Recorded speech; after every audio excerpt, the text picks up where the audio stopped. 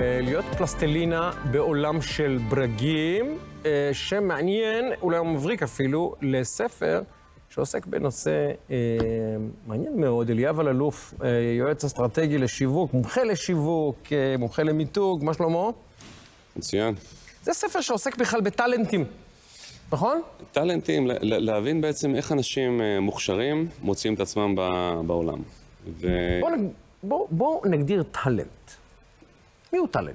עכשיו, אה, כאילו העניין הוא, אה, יש אנשים שהם מוכשרים, שיש בהם, שיש בהם אה, כישרון, שאיפות וכולי, לכולם יש כישרון. כל אחד יש כישרון כלשהו. זה בדיוק העניין. שאנחנו רגילים לחלק אנשים לטובים ולא טובים. זה הרבה מאוד קשור לתולדה של בית ספר. בב- בבית ספר המ- המורה הייתה עושה לך מבחן, והייתה קובעת אם אתה טוב או לא טוב במשהו. כן, וזה היה קובע אם אתה בסדר או לא בסדר. עכשיו, במציאות, אתה מסתכל על זה ואתה אומר, בואנה, זה ממש ילדותי, כי כל בן טוב במשהו. עכשיו, במיוחד אם אתה מדרבן אותו ומעודד אותו. ולמה שלא נייצר מצב שבו כל אחד יהיה, יעסוק במשהו שהוא טוב בו? כל אחד יבצע משימות שהוא טוב בהן. עכשיו, הסיבה שאנחנו לא עושים את זה, זה כי אנחנו רגילים לחשוב כמו מפעל.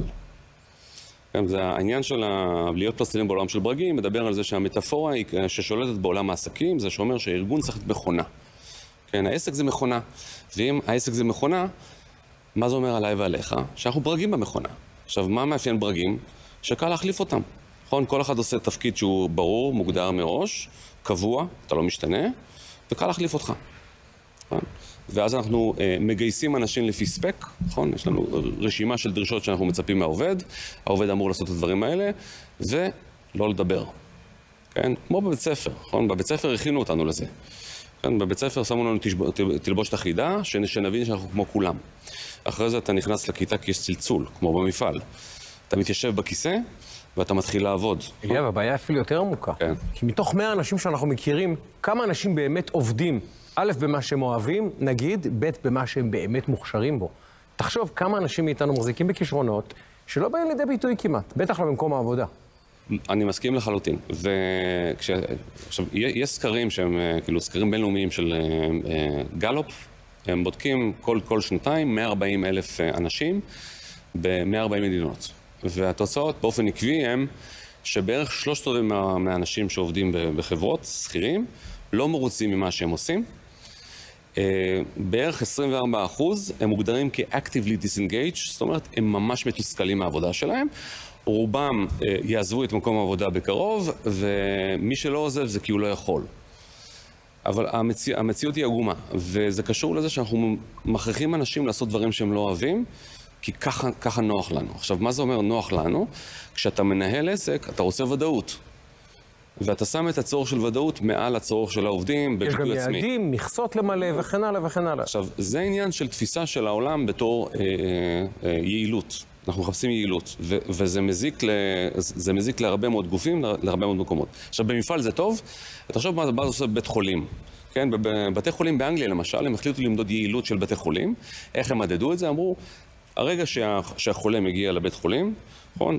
תוך כמה זמן הרופא מקבל אותו, ותוך כמה זמן שמו אותו במיטה. אז מה, מה עשה הבית חולים? בית חולים התחכם, אמר אוקיי, מגיע עכשיו אמבולנס עם בן אדם, האמבולנס מחכה בחנייה עד שרופא מתפנה.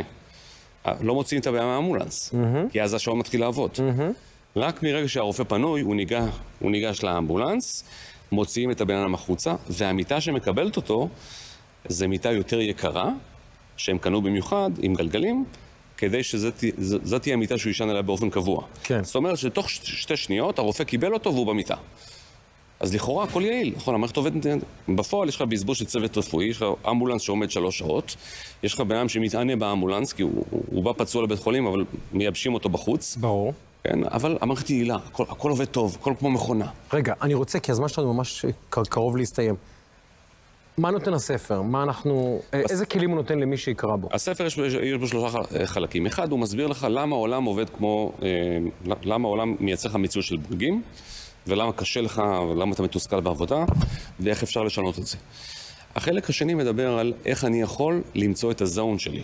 איך אני בתור בן אדם ש, שרוצה לבטא את עצמו, יכול בכלל להבין מה נכון לי, מה אני באמת רוצה להיות ולעשות.